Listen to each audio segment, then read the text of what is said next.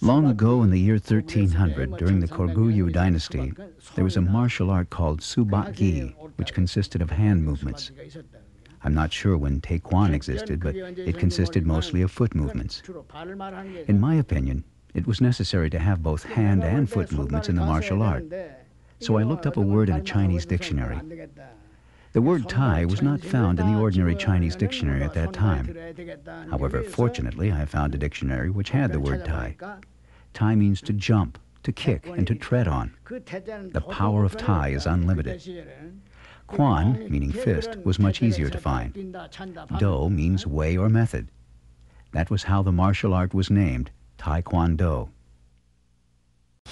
그럼 구라파는 I went to Malaysia in 1962 and I began seriously to develop the Taekwondo patterns. I started to develop the Chunji pattern and completed four patterns in 1963, but they were not included in the first book because the book came out in 1965. Anyway, I began to develop the Chunji pattern and completed 20 patterns of Taekwondo in Vietnam. Before going to Vietnam, there were only four patterns, Hwarang, Chungmu, Ulji, and Gaebaek.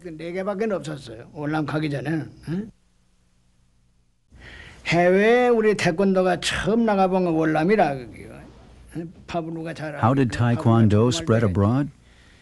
At first, Taekwondo reached Vietnam. It was March 1959 when General Duk Shin Choi was the Korean ambassador to Vietnam. With his status, 대사이기 때문에 he was 월남 able to introduce me to the 대통령을 president of 소개해서 Vietnam, 한국 국군의 태권도 and I asked the president to invite the Korean Army Taekwondo team to Vietnam. 월남에 승인하니까 그 다음에 대만에다 또 The president accepted. After After that, we negotiated with Taiwan, and Taiwan agreed. 음.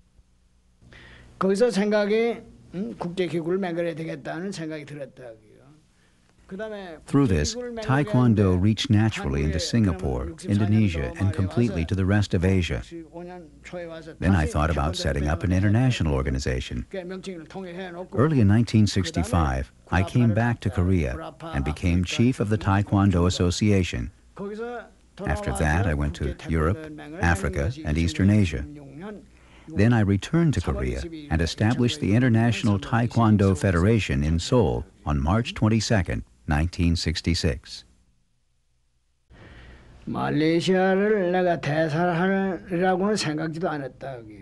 I never thought about working as an ambassador.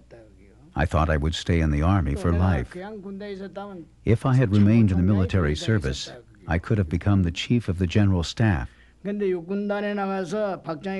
However, I did not approve of President Jung Hee Park, so I plotted to upset his plan.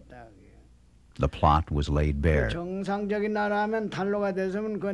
If I had been exposed in another state or country, I could have been charged as a traitor. But Jung Hee Park was not strong enough to do anything against me. Then Jung Hee Park negotiated with the 8th U.S. forces in Korea and requested them to send me abroad. For as long as I was in Korea, he could not do as he wanted. When he asked the U.S. forces in Korea to send me as an ambassador, they did not have much choice. So I was sent to Malaysia. I was very disappointed because it was not originally planned.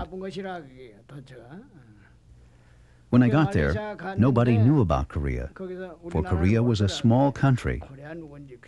Anyhow, I was going to introduce Taekwondo wherever I went, so I thought I should quickly expand Taekwondo. As a result, I was able to complete techniques in Taekwondo in Malaysia. What I'm saying is that there are no different doors for fortune and misfortune. They come and go through the same door. If you use the opportunity well, it becomes fortune. If you misuse the opportunity, it becomes misfortune. However, I was lucky to use the opportunity well, and it became fortune.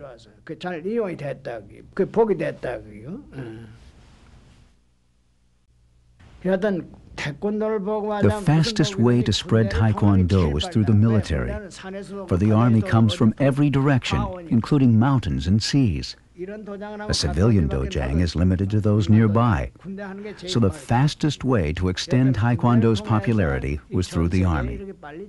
Anyway, that is the reason why Taekwondo rapidly spread in the world. And through Taekwondo, military morale was much increased, and so was solidarity. If I had started by building a dojang in a country where people had no knowledge about Taekwondo, it could have taken thousands of years in order to spread Taekwondo. With my status as the founder of Taekwondo, a general, and an ambassador, I was able to meet kings and presidents in whatever country I went to. When I met kings and presidents, I took advantage of the mass media to spread Taekwondo at top speed. Otherwise, if I had gone as a carpenter or common laborer to see a president or prime minister, it would not have happened. There was an established order.